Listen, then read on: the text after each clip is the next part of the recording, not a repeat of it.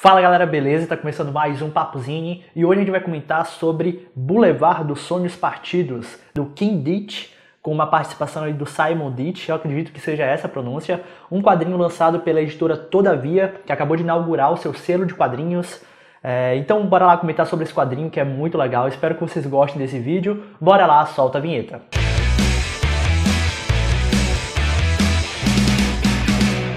Então, pessoal, Kim Ditch, ele é um dos caras mais reconhecidos aí do quadrinho underground americano. Olha, eu anotei aqui algumas obras que ele já lançou para falar para vocês. É, Cord Fed Comics, também The Stuff of Dreams. Ele já participou também daquela revista Raw, que era editado pelo Art Spielman, fez uma historinha lá de cinco páginas, se não me engano. Ele também já fez outras obras, como por exemplo The East Village Order e The Search of Smiling Ed. E enfim, cara, muitas outras. Ele é um cara realmente muito conhecido. Só que eu, pelo menos, não vi tantas coisas publicadas dele aqui no Brasil. Não sei se tem, não tenho certeza. Mas esse quadrinho aqui foi lançado em 2002 e agora, todavia, trouxe esse material pra gente. E, cara, é um quadrinho muito louco. Essa capa aqui engana um pouco, na verdade. Você pensa, sei lá, às vezes tem gente que pensa que é algo fofinho e tal, alguma história desse gato aqui, algo assim. Só que, cara, é uma história completamente insana, bem pegada underground mesmo. E então bora comentar um pouquinho sobre isso aqui. Esse quadrinho que conta uma história que se passa ali nos bastidores dos estúdios de animação dos Estados Unidos. É, desde ali dos anos 20, 30 até os os anos mais recentes. É uma história de ficção, mas ela acaba parodiando vários personagens da vida real e até mesmo citando alguns personagens reais, como por exemplo o Walt Disney, que ele tem uma participação aqui na história, é citado em vários momentos. Como eu disse, também tem paródias de alguns personagens reais, por exemplo o Winsor McKay, que é um dos pioneiros aí da animação. Tem um personagem aqui no quadrinho que é o Winsor Newton, que é praticamente como se fosse ele aqui na história. Então é um, é um quadrinho que, cara, é até meio, meio louco, porque eu comecei a ler e eu fiquei meio confuso, parecia tão real assim, parecia uma história, parecia uma biografia sobre alguém, ali, contando uma história sobre alguém real. O começo eu confesso que eu eu tava, eu tava achando estranho, assim, mas depois eu, eu saquei que era uma história de ficção, enfim, que mistura coisas da realidade e tal. Aqui a gente acompanha principalmente a história de um personagem chamado Ted Minsky, que é um artista, um animador, que foi o criador, ou o suposto criador desse personagem aqui, o gato o Waldo, Valdo, não sei direito, acho que é o Waldo. E, cara, Acontece que esse personagem, essa criatura, ele apareceu de verdade pro Ted Minsky quando ele era criança e desde então acompanhou ele aí durante a vida toda. E quando ele era criança, ele desenhou pro irmão dele o Wal, desenhou o Aldo para mostrar como é que ele era e tal. E depois de um tempo, o Wal levou o Ted Minsky para trabalhar na Fábulas Animadas Fontaine, que era um estúdio de animação.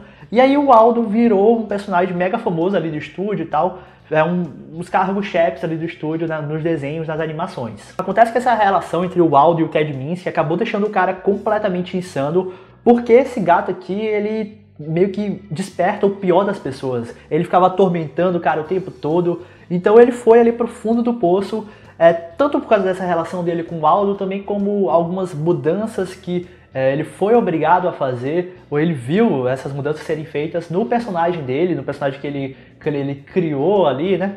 É, porque a, mostra ali como que eles estavam tentando mudar o personagem para ficar algo mais parecido com os personagens do Disney.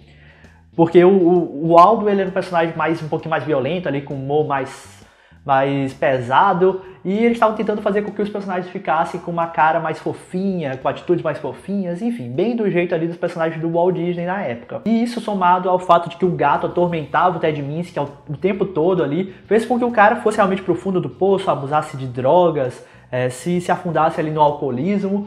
E a gente acompanha isso, principalmente esse personagem aqui nessa história. A gente acompanha várias fases ali da vida dele, vistas de vários pontos de vista diferentes. Por exemplo, tem um, tem um capítulo que, é, que conta a história pra gente é o terapeuta. O terapeuta não, o psiquiatra, né? O cara que cuidou ali do Ted Minsky, o momento que ele tava ali no hospício. E, cara, é um dos, um dos, capítulos mais legais, inclusive, a gente vai vendo ali tudo que aconteceu com ele. E tem ele na infância, tem ele mais velho, enfim, cara. E tem também outros personagens que são incríveis aqui o próprio irmão do, do, do Ted Minsky, o Wall, uma outra personagem que também é muito interessante, outros, outros, outros vários personagens, cara. E é legal como que o quadrinho ele vai fazendo autorreferências o tempo todo a ele mesmo. Logo no começo aqui, por exemplo, tem essa, essa página dupla. Vou mostrar logo aqui pra vocês, fica melhor. Facilita também na edição pra mim. Cara, essa página aqui, você começa a ler, beleza. É só mais uma, uma página dupla, né? Bem no iníciozinho do quadrinho.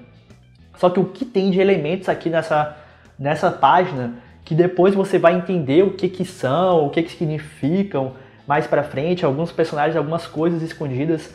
É muito foda, cara, porque é um quadrinho que ele vai fazendo esse negócio de várias, várias, várias pessoas contando essa história e, enfim, vários elementos indo e voltando e você vai descobrindo o tempo todo coisas novas ou entendendo, na verdade, né? Você fica é aquele quadrinho que você lê o tempo todo que você fica, caramba, agora entendi essa parte, agora essa parte aqui, então era aquilo, então, enfim, cara, é um quadrinho que mexe muito com isso. É um quadrinho com muita informação, vários elementos, vários detalhes, isso é reforçado mais ainda pela arte do King Ditch, que é, enfim, cara, é cheia de detalhes, é uma arte uma pegada bem underground, mas que, cara, tem muitos elementos na, numa mesma página, você tem que prestar atenção em cada detalhe, e você vai pescando uma coisa ali, outra aqui, depois numa segunda leitura você, enfim, vê mais coisas ainda, e é muito legal isso. E cara, é uma história pesada assim, é, tudo que o, que o autor conseguiu colocar ali, é, contando essa história fictícia sobre os bastidores dos estúdios de animação, é uma história com traição, com frustrações, com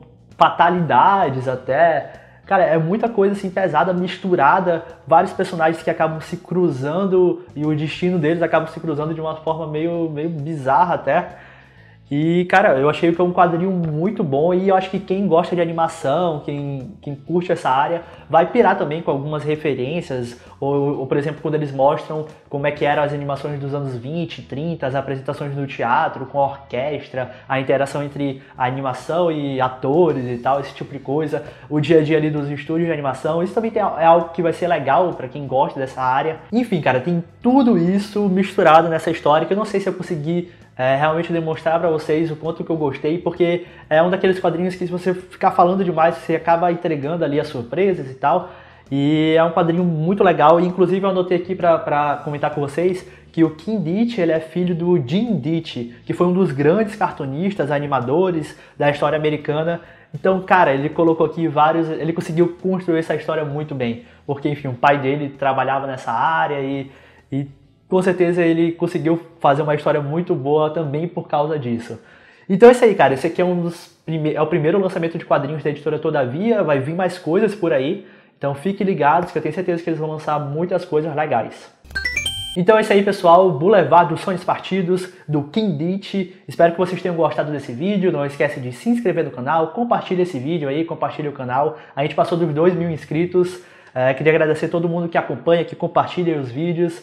É, não esquece também de procurar o Instagram e o Facebook do Papozinho, e principalmente o Instagram, onde eu interajo mais aí com o pessoal. Tá tudo aqui embaixo. Então é isso aí, valeu, até a próxima.